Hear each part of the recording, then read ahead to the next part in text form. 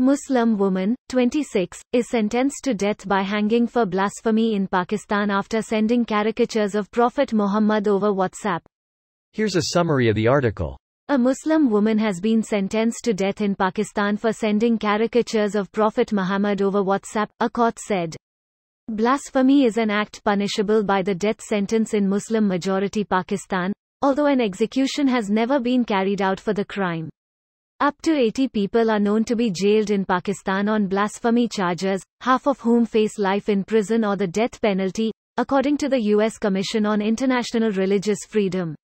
Pakistan has strict blasphemy laws which carry a death penalty for people who insult the Prophet Muhammad, Islam, the Quran or certain holy people.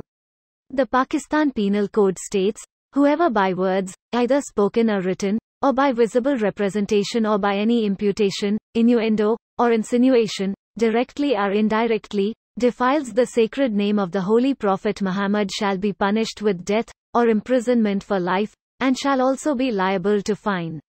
In December, a Sri Lanka factory manager working in Pakistan was beaten to death and set ablaze by a mob after being accused of blasphemy. Priyanta Kumara was accused by factory workers of desecrating posters bearing the name of Islam's Prophet Muhammad, the lynching was widely condemned by Pakistan's military and political leadership, prominent social and religious figures and civil society members. This post received a score of 50,000, with an upvote ratio of 89%. Here are the top comments in response to this article. Pakistan's gonna flip when they see the rest of the internet. They're busy.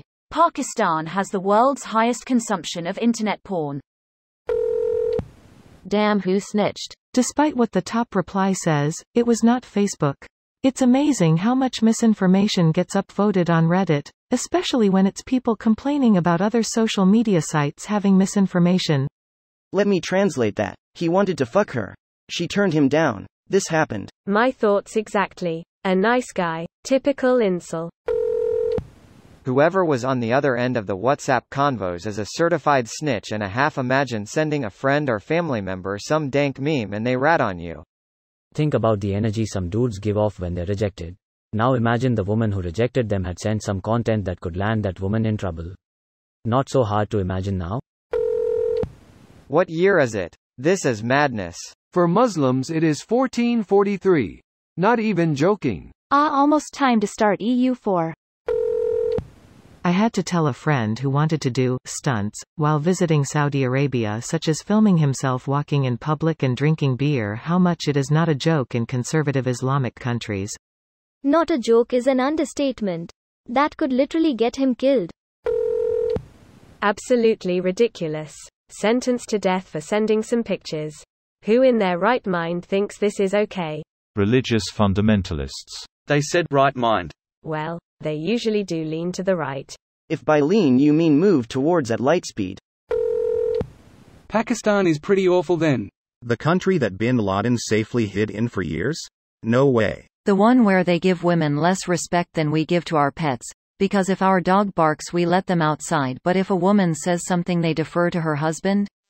Can't be. The one that is, not only dumb enough to pay millions for fake bomb detectors, and then continues to use them, while they have an issue with suicide bombers? Come on. The blasphemy laws in a lot of these countries are insane. Many times it's not even real offenses it's just used as a way to take down someone you don't like.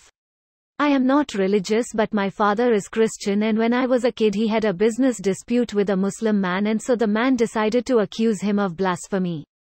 We ended up having a mob at our door and a few days later my dad was arrested and later served a five-year jail sentence on some bullshit charges. When he got out we were able to make it to the US. This was in Egypt 20 years ago but it's not any better now. It recognizes five official religions, with Islam and Buddhism among them. It's just the majority is Muslim, so it behaves almost like a caliphate. It could have been a she said he said situation. Bonus, as part of the protest over her remarks, 11 Buddhist temples were torched in a riot. This video was automatically created by Reddit to speech. The article and comments in this video were selected from Reddit according to their upvotes, and any paraphrasing was performed by smmry.com, without any human intervention.